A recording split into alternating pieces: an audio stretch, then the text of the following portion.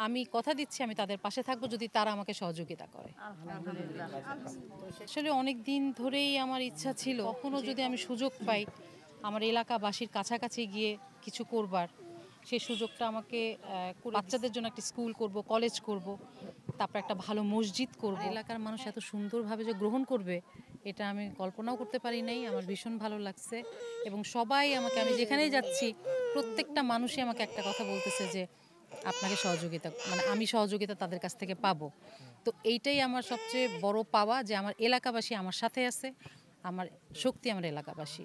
আমার অবশ্যই আমার বিশ্বাস আছে যে তারা আমার পাশে থাকবে এবং আমি প্রতিটা মানুষের কাছে গিয়ে গিয়ে কিন্তু শুনতে চাচ্ছি যে কোথায় কি সমস্যা, কোথায় কি, তারা কি চায়।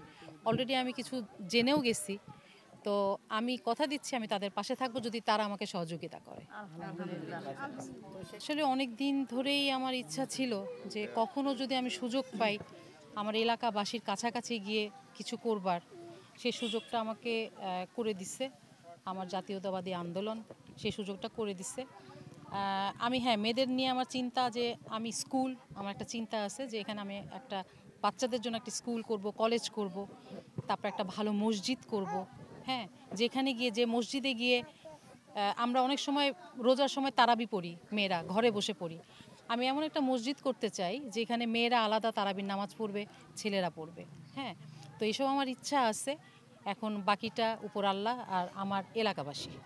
ওনারা, আমি যতটুকু দেখলাম, ওনারা মানে সাদরে গ্রহণ করেছে আমাকে।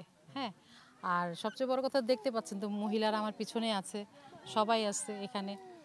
তো ওনাদের কাছ থেকে আমার মনে হয় শোনা উচিত যে ওনারা আমাকে কীভাবে নিচ্ছে। আমি একটা শিল্পী, কিন্তু এখন তো আমি শিল্পী না। এখন তারা কীভাবে আমাকে নিচ্ছে?